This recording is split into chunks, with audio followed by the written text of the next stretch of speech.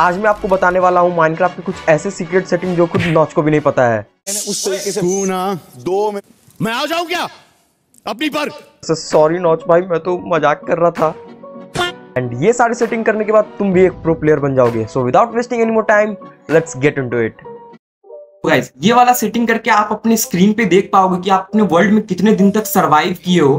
तो इसको करने के लिए आपको सेटिंग पे जाना है गेम पे क्लिक करना है एंड गेम पे क्लिक करने के बाद आपको यहाँ पे दिख रहा होगा सो डेज़ प्लेड तो आपको यहाँ पे इनेबल कर लेना है। एंड इनेबल करने के बाद आपके स्क्रीन पे दिखने लगेगा कि आप अपने वर्ल्ड में कितने दिन तक सर्वाइव किए हो। तो यहाँ पे थ्री डेज़ दिखा रहा है। तो अगर वापिस से रात में कर दूँ एंड वापिस से सोऊं तो ये बढ़ता है या फिर नहीं? तो ट्राई कर लेते हैं इसको। यहाँ पे मैं नाइट कर देता हूँ एंड बेट लगाते हैं, सो जाता हूँ। एंड देखते हैं कि यहाँ पे डेज़ काउंटर बढ़ता है कि नहीं। तो यहाँ पे फोर हो चुका है। तो ये सेटिंग काफ़ी यूजफुल है तो आप भी ये ट्राई कर सकते हो। सो गाइस माइनक्राफ्ट के अंदर आप किसी भी ब्लॉक को माइन करते हो तो वो ब्लॉक आपको मिल जाता है। बट ये सेटिंग करने के बाद अगर आप किसी भी ब्लॉक को माइन करोगे तो वो आपको मिलेगा ही नहीं। तो आपको सबसे पहले सेटिंग में चले जाना है गेम पे क्लिक करना है एंड यहाँ पे टाइल ड्रॉप्स को ऑफ़ कर देना है। एंड उसके बाद अगर आप किसी भी ब्लॉक को माइन करते हो तो वो ब्लॉक आपको मिलेगा ही नहीं। तो ये भी काफ़ी ज़्यादा फन के लिए आप लोग यूज़ कर सकते हो। सो so गाइस कभी भी आप अपने माइनक्राफ्ट वर्ल्ड के अंदर मरते हो तो आपके स्क्रीन पे ये रीस्पॉन वाला एनिमेशन ज़रूर से भी आता होगा।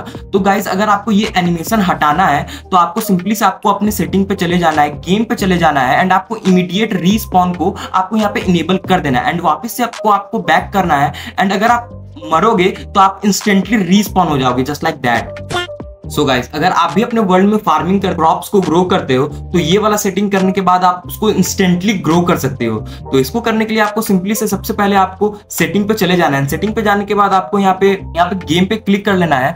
एंड यहाँ पे आपको रैंडम टिक स्पीड वन पे होगा बाई डिफ़ॉल्ट उसको टू थाउज़ेंड या फिफ्टीन हंड्रेड कर लेना है।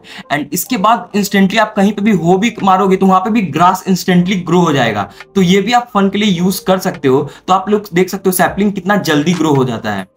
सो so गाइस ये वाला जो सेटिंग है, वो आपके काफ़ी ज़्यादा यूज़ में आने वाला है। इससे आप अपने कोऑर्डिनेट को कॉपी कर सकते हो। सबसे पहले आपको अपने सेटिंग पे जाना है, यहाँ पे क्रिएटर पे जाना है एंड यहाँ पे आपको इनेबल कॉपी कोऑर्डिनेट यूआई पे क्लिक कर लेना है एंड इसको इनेबल कर लेना है। एंड जैसे ही आप अपना चैट कमांड ओपन करोगे तो आपके ऊपर में ही दिखाया जाएगा कोऑर्डिनेट एंड यहाँ पे आप उसको कॉपी कर सकते हो। आप अपने फ्रेंड को इंस्टेंटली कोऑर्डिनेट कॉपी करके भेज सकते हो। सो गाइस अगर आप भी माइनक्राफ्ट पॉकेट एडिशन खेलते होगे तो आपका जो हर्ट बार है एंड जो हंगर बार है, वो टॉप पे आता होगा। तो इसको नीचे लाने के लिए आपको सेटिंग पे जाना है एंड आपको यहाँ पे वीडियोस पे क्लिक करके आपको यूआई प्रोफ़ाइल को पॉकेट से क्लासिक पे कर देना है। एंड इसके बाद जो आपका हर्ट बार है एंड आपका जो हंगर बार है, वो एकदम नीचे नीचे आ जाएगा आपके इन्वेंटरी के पास। तो ये काफ़ी ज़्यादा देखने में भी अच्छा लगता है एंड खेलने में भी आपको काफ़ी ज़्यादा मज़ा भी आएगा। तो ये भी आप ट्राई कर सकते हो।